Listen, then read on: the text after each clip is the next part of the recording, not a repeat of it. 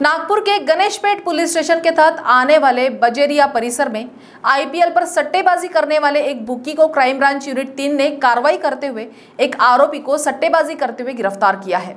बुधवार को Indian premiere league का दिल्ली बनाम हैदराबाद के बीच टी मुकाबला शुरू हुआ था, जिस पर सट्टा लगाने की जानकारी क्राइम ब्रांच की यूनिट तीन को मिली थी, जहाँ प्रॉपर प्लानिंग करते हुए क्राइम ब्रांच यूनिट तीन ने बजरिया इलाके में छापेमार कार्रवाई करते हुए आरोपी राहुल अग्रवाल को क्रिकेट मैच पर सट्टा खाते हुए रंगे हाथों गिरफ़्तार किया है, जिसके पास से कुछ मोबाइल और लैपटॉप पुलिस विभाग ने जब्त किए हैं।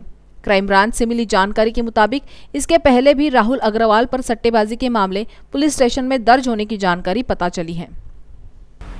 काल गणेशपेठ पोलीस स्टेशन एरियातील बजेरिया या ठिकाणी एक कट्ट्या क्रिकेटच्या संदर्भातला सट्टा चालू आहे.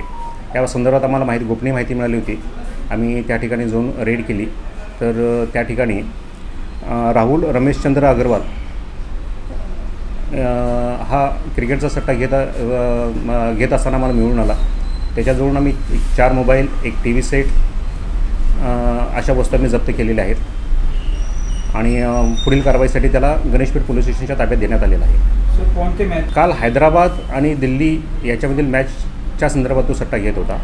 आणि अजून आरोपी असण्याची शक्यता आहे त्याबद्दल अधिक चौकशी गणेशपेठ पोलीस स्टेशन करत आहोत. आम्ही त्याचा समांतर तपास करीत आहोत. आम्ही की प्राथमिक चौकशीमध्ये त्याच्यावर दोन हजार आठमध्ये एक अशाच प्रकारचा गुन्हा होता आणि जानेवारी दोन हजार एकवीसमध्ये सुद्धा गणेशपेठ पोलीस स्टेशनमध्ये गुन्हा दाखल आहे. आम्ही केलेल्या कारवाईमध्ये त्याच्याकडे एक चार मोबाईल आणि एक टी व्ही सेट आणि नेटचा डोंगर या वस्तू आम्ही जप्त केलेल्या आहेत. एकूण अडुसष्ट हजारचा मुद्देमाल आहे.